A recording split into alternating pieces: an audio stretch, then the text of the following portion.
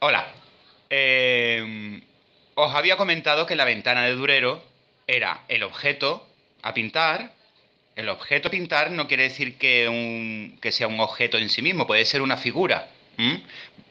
Es que la palabra objeto ya en sí mismo tiene muchas connotaciones, ¿vale? Eso lo quiero que lo vayáis reflexionando. El tema del objeto a pintar.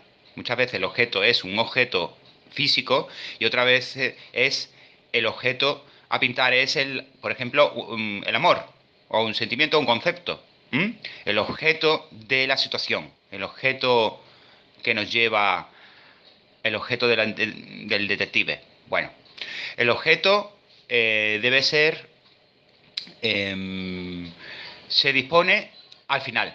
Después está la ventana de Durero que he comentado, que es un cristal. Y después estás tú, ¿vale? Entonces, imagínate que ese cristal está en vertical. Y tú lo, eh, lo puedes hacer, coge un rotulador mm, que después puedas borrar en el cristal. Coge cualquier objeto que tengas muy cerca tuya, a dos metros más o menos, o un metro, y te pones la ventana de cristal. Te pones una ventana en tu casa o lo copias enfrente. Te pones la ventana y con el rotulador y el ojo tuyo fijo, fijo, con- cerrado un ojo, copias ese objeto, lo- el contorno y las formas generales, interiores y exteriores, las vas copiando, registrando en el cristal con un rotulador, rotulador rojo, azul, ¿vale? Así que tenéis otro, otro truquito, otro, otro ejercicio que os va a ayudar mucho a daros cuenta de, de, mm, de lo que hay que observar cuando copiamos. La ventana de Durero verdaderamente es el antes y después del dibujante, cuando se da cuenta que lo que está copiando es pura abstracción geométrica e inorgánica o orgánica, mm, informal, se podría decir, o aformal de, de las, de los objetos de atención que estamos copiando, tanto humano, animal, inerte o lo que sea. Ojo, cuando digo dibujar bien, no quiere decir que se excluya a toda la historia de dibujantes de la historia del arte y actual y del pasado y del futuro que no dibujan realista. O sea, dibujar bien me refiero en este contexto, ¿vale? Estamos en un taller o en un grupo donde hablamos sobre mm, desarrollar la visión para dibujar objetos de forma naturalista, que en el lenguaje colonial se llama realista. Yo, en el lenguaje mm, coloquial se dice, "Ah, eh, eh, está dibujado realísticamente, ¿vale? Eso es mm, de una forma coloquial. Pero en el lenguaje eh, académico artístico es estilo naturalista, ¿vale? Porque el realismo, en verdad, en la historia del arte, es un movimiento artístico que es ya de principios del siglo XX, finales del XIX, más bien dicho, del finales del XIX. En la era industrial, Daumier, eh, todos esos pintores que pintaban a la gente del campo, cultivando y, bueno, eran pintores que iban más allá de la academia, del neoclasicismo y querían ser constructores, eh, querían ser representadores, querían ser como una especie de mm, periodistas de la época. Pues ilustrar lo que en verdad veían en la vida diaria, pues escenas mm, propias del pueblo y después también ya se deformó a la caricatura.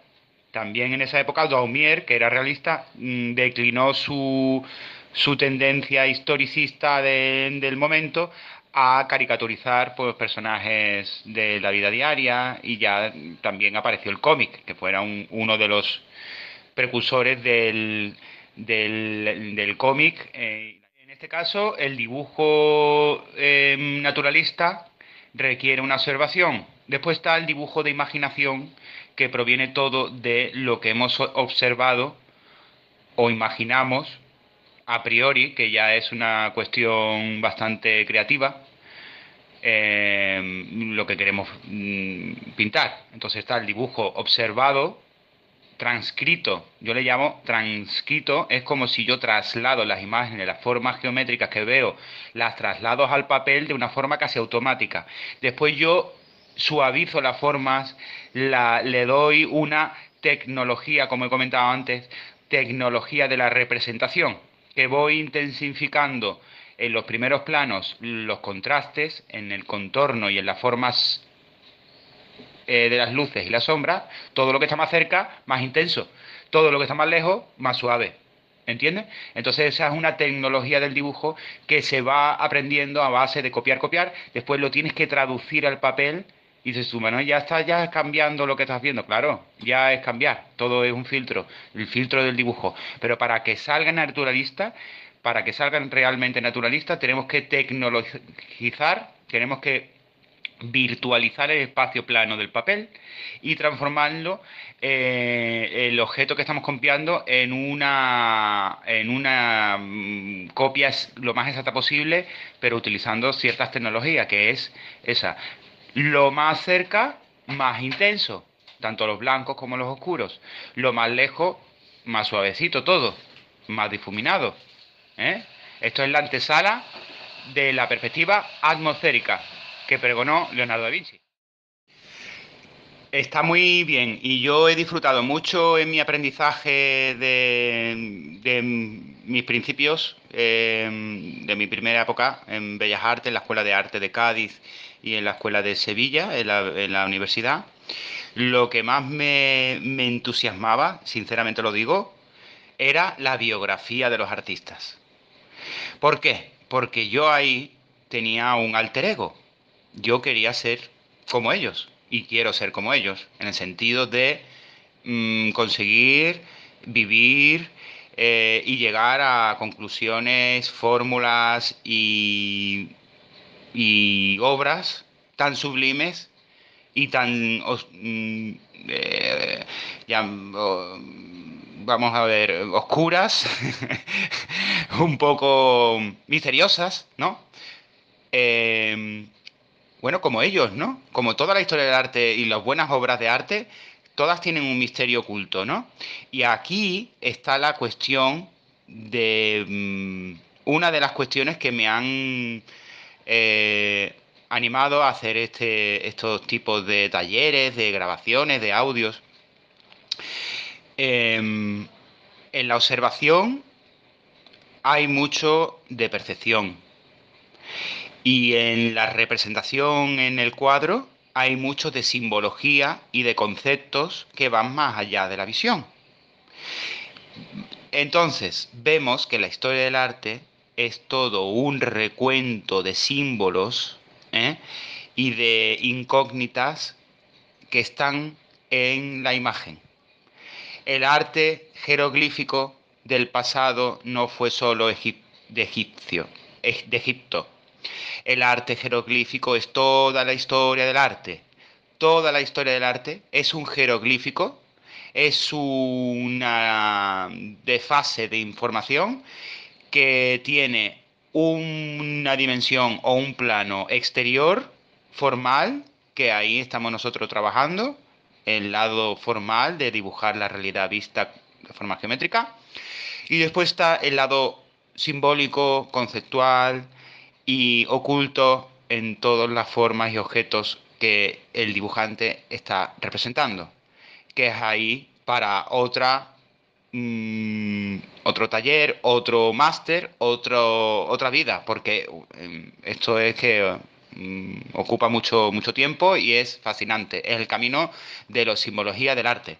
Pero bueno, en este caso, simbolicémonos nosotros como un gran artista que está eh, copiando la realidad. Y os animo a que os inspiréis de los principios de todos los artistas de la historia del arte. A mí me fascinó Picasso, Leonardo da Vinci, Miguel Ángel, Van Gogh, Benvenuto Cellini, eh, escultor eh, renacentista, Gauguin, Monet, Suotin, pintor expresionista de la época de Modigliani, también incluyo Modigliani, me encantaba.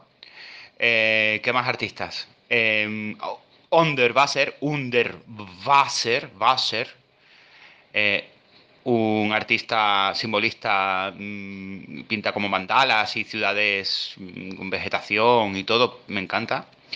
Eh, es que os puedo decir muchísimos artistas, muchos, muchos artistas que me han inspirado, su vida y su obra, ¿vale? Venga, a crear.